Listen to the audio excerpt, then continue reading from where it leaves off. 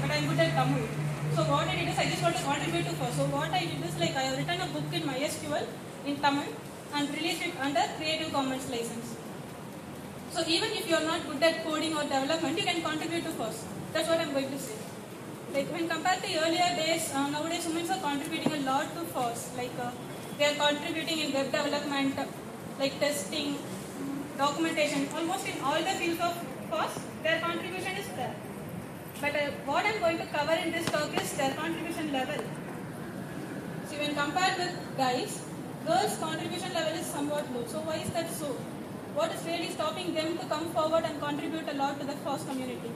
So what are all the problems that a woman will face when she wants to come out of the shell and she wants to contribute for some social activities? So I'm going to describe about those problems for the women.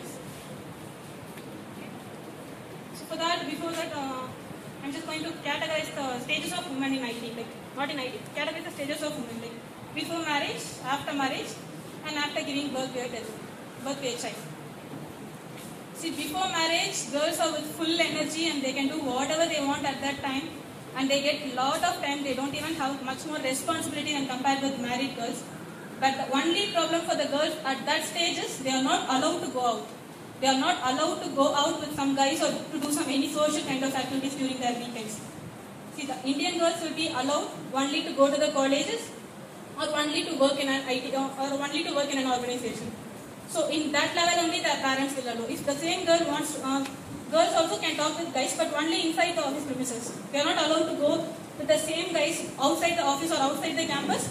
Then so many questions will be arised by the society. They'll they raise questions like why this girl is always roaming and why there no girls in that company. See, girls, uh, when, when the same girl wants some other girls company, then they are also busy with answering their own questions by their parents.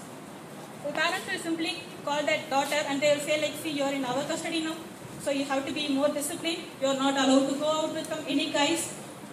Even though the parents know like it's for a good cause, but they don't want to get into trouble. They don't want their daughters to roam with some guys for even for any social kind of activities. So that is the stage of uh, unmarried girl. So the parents will simply say like, yeah, after marriage you can do whatever you want to do with your husband's support. You can go wherever you want to go with your husband's support. So they say in that way. After that you won't control anymore. So what girl will think it after marriage we will contribute to the social activities and all. But after marriage only the real problem comes. See before marriage, going to office will be the first priority for that girl and contributing to the FOSS kind of things and all will be in the second priority level.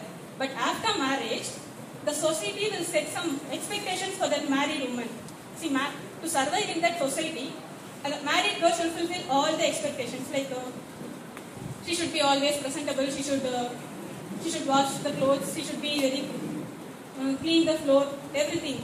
Like she should cook the food in a delicious way. So all these things, society some set some predefined goals for that married girl. So that will become the first priority for that girl. And in the second priority will come to will come for going to office or going to college, anything. In the third priority, so the girl will start giving third priority for the contributions level to FOSS.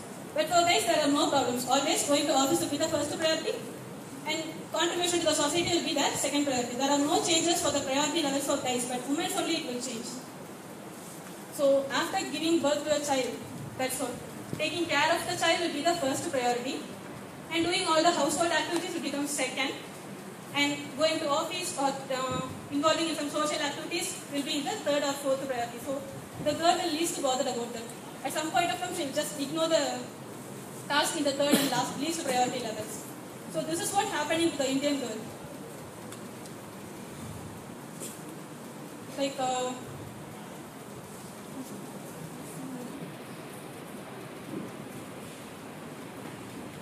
So this is what happening to the Indian girl. कर रही है कर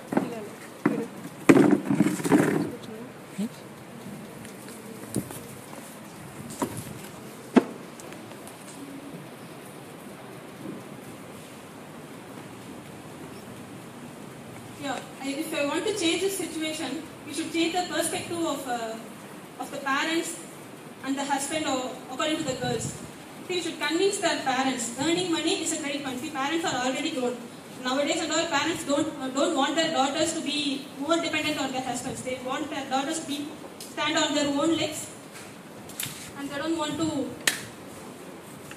they don't want to be too dependent on the husband. So parents are already grown in that level. So our point is like we just want to grow them into the next level. We have to convince their parents saying like your your daughter earning money is always a credit for your daughter, but after that, like let you, let your daughter to go beyond their passion.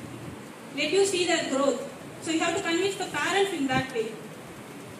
And we have to convince the husband's minds as well.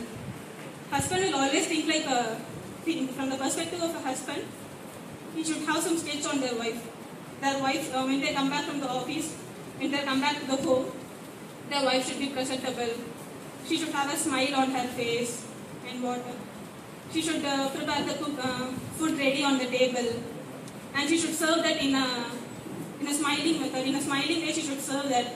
So these are all the perspective of a husband according to the wife. I'm not saying that saying that it is not wrong, but your wife possesses the talent to achieve beyond beyond your expectations. Just let her do that. Let's support the, everyone are working on something else for our passion. Your parents are going to temple, your children are going to the playground, and sometimes you are going to play cricket for your passion. Like, likewise, you can allow your wife also to work on her passion. Give have some private uh, area, like allow her to work on her passions. She possesses the talent for that, so just allow her to go, go beyond her dreams.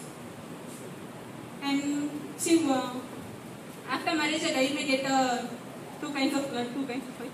See, wife they will get a, either a working woman or a housewife. So if you get a working woman, you can just encourage her to go with her passion. If you get a housewife, just help her to find out her passion.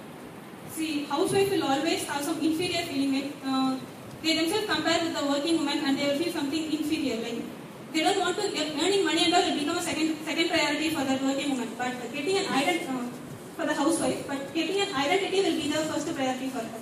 So just help her to get an identity. Housewife also can contribute. It doesn't mean that you should be good at coding or development or testing or anything else. If you have the passion, you can choose your own field and you can even contribute in Tamil for Wikipedia. So many fields are there in course.